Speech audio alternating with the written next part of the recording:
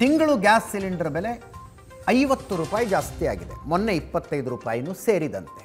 Petrol, diesel all time high ಅದರ ಜೊತೆಗೆ ಎಣ್ಣೆ, ಅಡುಗೆ ಎಣ್ಣೆ, ಬೇಳೆಕಾಳುಗಳು ಕೇಳೋ ಹಂಗಿಲ್ಲ ರೇಟು ಇಂಥದರ ಮಧ್ಯದಲ್ಲಿ ಜನಸಾಮಾನ್ಯ ಬಾಯಿ ಬಡ್ಕತಾ ಇದ್ದರೆ ಹೆಂಗಾರು ಮಾಡಿ ಇದನ್ನು ಸಮರ್ಥನೆ ಮಾಡಿಕೊಳ್ಳಬೇಕು ಅಂತ ಬಿ ಜೆ ಪಿಯವರು ಹೊರಟಿದ್ದಾರೆ. ನಮ್ಮ ನಾರಾಯಣಗೌಡರು ಮಾತಾಡಿದ್ದು ನಿಜವಾದ ಗ್ಯಾಸ್ ಬಳಕೆದಾರರು ಯಾರೂ ಬೀದಿಗೆ ಬಂದಿಲ್ಲ, ಬೀದಿಗೆ ಬಂದವರೆಲ್ಲ ರಾಜಕಾರಣಿಗಳು. ಬೆಲೆ ಏರಿಕೆ ಆಗ್ತಾ ಇರ, ಇದೆ ಅನ್ನೋದು ಎಲ್ರಿಗೂ ಗೊತ್ತಿದೆ. ಆದರೆ ಇಲ್ಲಿ ರಾಜಕಾರಣ ಮಾಡಲಾಗ್ತಾ ಇದೆ ಅಂತ ಹೇಳ್ತಿದ್ದಾರೆ. ಒಂದು ಡ್ರಾಮಾ ನಡೀತಾ ಇದೆ. ಸಮಸ್ಯೆ ಯಾರಿಗೂ ಆಗಿಲ್ಲ. ಇದು ರಾಜಕಾರಣದ ಪಿತೂರಿ.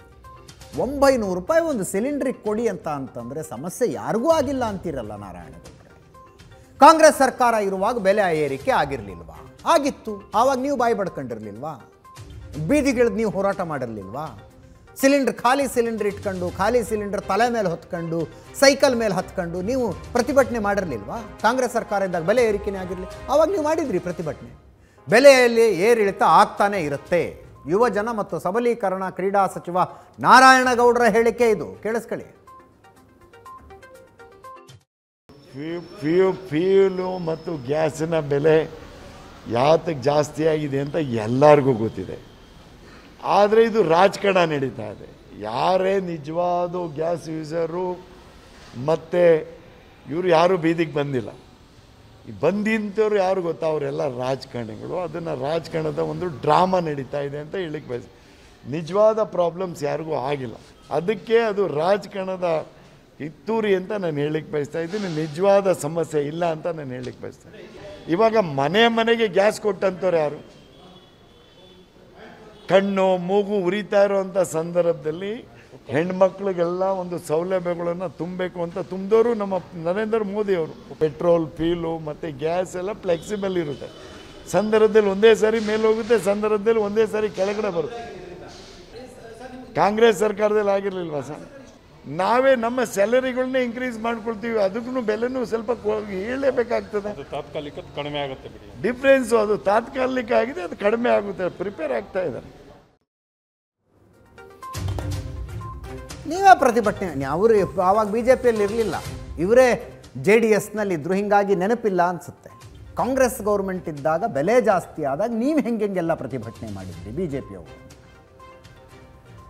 ಎರಡು ಸಾವಿರದ ಹದಿನಾಲ್ಕರ ಎಲೆಕ್ಷನ್ನಲ್ಲಿ ಘೋಷಣೆನೇ ಮಾಡಿದ್ರಲ್ಲ ಸರ್? ಏನದು, ಬಹತ್ ಹೋಗೈ ಮೆಹಂಗಾಯಿ ಕಿ ಬಾರ್, ಅಬ್ ಕಿ ಬಾರ್ ಮೋದಿ ಸರ್ಕಾರ ಅಂತ? ಹಂಗೆ ಹೇಳ್ಕೊಂಡು ಓಟ್ ಕೇಳಿದವರು. ಈಗ ಏನು ರೇಟ್ ಜಾಸ್ತಿ ಆಗುತ್ತೆ?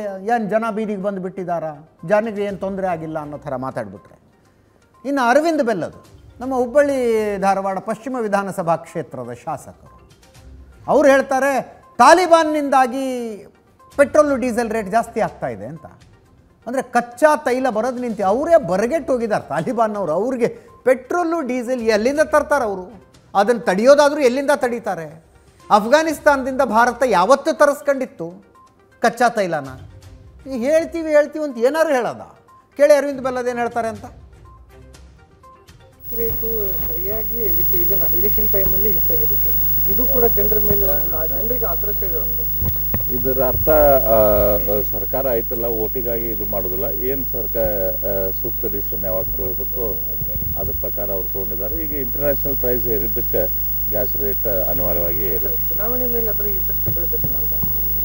ಈ ನನಗನ್ಸ್ಮಟ್ಟಿಗೆ ಮತದಾರ ಪ್ರಭುಗಳು ಪ್ರಬುದ್ಧರಾಗಿದ್ದಾರೆ. ಅವ್ರಿಗೆ ಇಂಥದ್ದು ಏನು ಅಫೆಕ್ಟ್ ಅವ್ರು ತಿಳ್ಕೊತಾರೆ. ಯಾಕಂದ್ರೆ ಇವತ್ತು ತಾಲಿಬಾನ್ ಪ್ರಾಬ್ಲಮ್ ಶುರು ಆಗೈತಿ. ಆಲ್ ಓವರ್ ವರ್ಲ್ಡ್ ಗ್ಯಾಸದ್ದು ಆಯಿಲದ್ದು ಸಪ್ಲೈದು ಪ್ರಾಬ್ಲಮ್ ಆಯಿತು. ಹಾಗಾಗಿ ರೇಟ್ ಏರಿದಾವೆ. ಈ ಸಂದರ್ಭದಲ್ಲಿ ಮತದಾರರು ತಿಳ್ಕೊತಾರೆ ಆ ಕಾರಣಕ್ಕಾಗಿ ರೇಟ್ ಏರೈತೆ ಅಂತ. ರೇಟು ಸರಿಯಾಗಿ ಇದಕ್ಕೆ ಇದನ್ನ ಟೈಮಲ್ಲಿ ಹೆಚ್ಚಾಗಿದೆ ಸರ್ ಇದು ಕೂಡ ಜನರ ಮೇಲೆ ಒಂದು- ಆ ಜನರಿಗೆ ಆಕ್ರೋಶ ಇದೆ ಒಂದು. ಇದರ ಅರ್ಥ ಸರ್ಕಾರ ಆಯ್ತಲ್ಲ ಓಟಿಗಾಗಿ ಇದು ಮಾಡೋದಿಲ್ಲ. ಏನು ಸರ್ಕಾರ ಸೂಕ್ತ ಡಿಸಿಷನ್ ಯಾವಾಗ ತಗೋಬೇಕು ಅದ್ರ ಪ್ರಕಾರ ಅವ್ರು ತೊಗೊಂಡಿದ್ದಾರೆ. ಈಗ ಇಂಟರ್ನ್ಯಾಷನಲ್ ಪ್ರೈಸ್ ಏರಿದ್ದಕ್ಕೆ ಗ್ಯಾಸ್ ರೇಟ್ ಅನಿವಾರ್ಯವಾಗಿ ಏರಿದೆ. ಚುನಾವಣೆ ಮೇಲೆ ಅದರ ಇಫೆಕ್ಟ್ ಬೀಳ್ತೈತೆ ಅಂತ.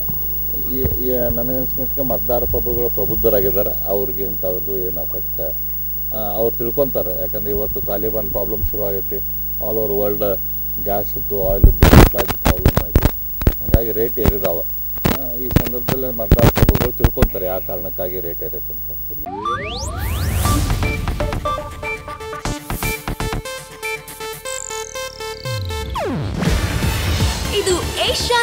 ನ್ಯೂಸ್ ನೆಟ್ವರ್ಕ್ ಪ್ರಸ್ತುತಿ. ನೀವು ನೋಡ್ತಿದ್ದೀರಾ ಏಷ್ಯಾ ನೆಟ್ ಸುವರ್ಣ ನ್ಯೂಸ್.